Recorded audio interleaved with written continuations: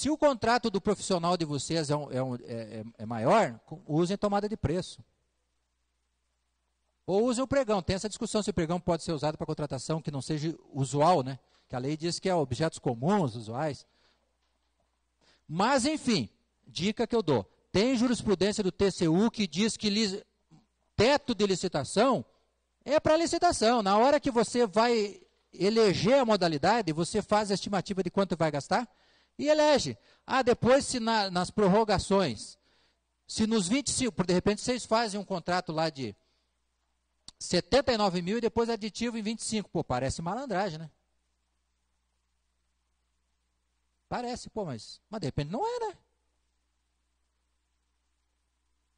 Eu vi um caso uma vez, o cara licitou por 70 e poucos mil, na hora que foi fazer aquele, aqueles perfuração do solo, como chama aquilo? É, pra?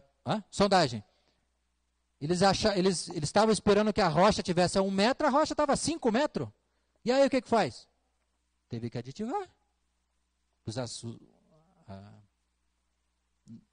teve que gastar mais lá no buraco para encher de cimento, concreto.